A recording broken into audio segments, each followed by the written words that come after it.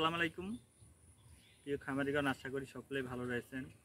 আমার পাশে যে ঘাসটি দেখছেন, এটি হচ্ছে জারান হাইব্রিড ঘাস। ঘাসটির ফলন মাসাল্লাহ অনেক সুন্দর হয়েছে। দেখতে পাচ্ছেন ঘাসটি কীরকম মোটা এবং বিশ থেকে বাইশ পার্সেন্ট প্রোটিন সমৃদ্ধ একটি ঘাস। এই ঘাসটি ভেতরে আখের মতো মিষ্টি। আপনারা যারা ঘাসের চাষ করেননি, অবশ্যই জারান হাইব্রিড ঘাসটি চাষ করতে পারেন। এই ঘাসের কাণ্ডটি দেখুন কীরকম মোটা। আমরা মূলত এই ঘাসটি কাটিংয়ের জন্য রেখেছি। কাটিংয়ের মান ভালো করার জন্য শিকড় বের করেছি এবং কি চোখ বের করে নিয়েছি। এ সমস্ত কাটিং রোপণ করলে প্রতিটি কাটিং থেকে গাছ ইনশাল্লাহ বের হবে। আপনার এই কাশের কাটিংটি সংগ্রহ করতে চালে আমার দেওয়া নাম্বারে যোগাযোগ